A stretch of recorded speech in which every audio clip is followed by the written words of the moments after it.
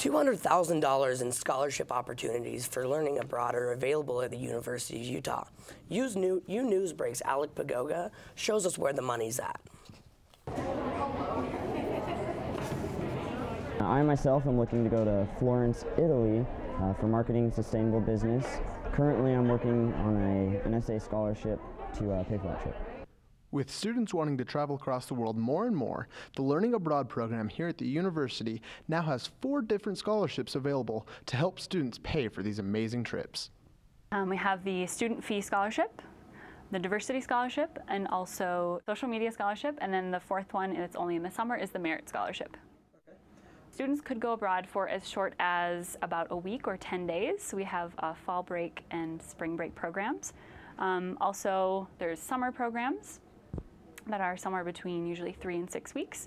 And then they could do also a full semester or um, an academic year or calendar year.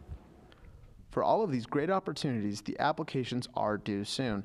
Deadlines for spring break, spring semester, and the 2016 calendar year programs, along with the applications for scholarships, are all due November 1st.